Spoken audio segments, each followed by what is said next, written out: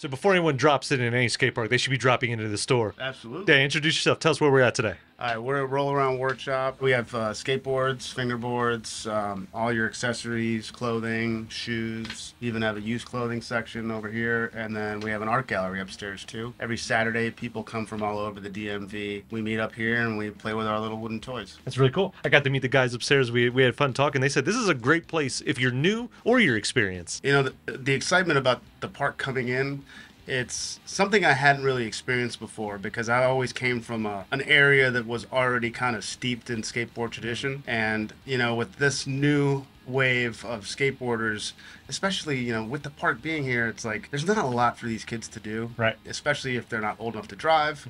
And uh, they don't want to have to go over the bridge, all that stuff. So, especially people that aren't involved with organized sports, got a ton of people of all age coming and getting their first board. It's really exciting. Yeah. So let's talk about the park a little bit. You got to go out today. What'd you think? Ah, such a cool park. Yeah. I mean, I think everybody that's been there, even if they haven't skated it, they're like, "This is the best park in Maryland." It's like they brought a uh, like an LA or a California skate park, and they brought it to Maryland. So let's tell people one more time where you're at and how to get here. All right, uh, this is Roll Around Workshop. We're at 239 Main Street in Stevensville, Maryland.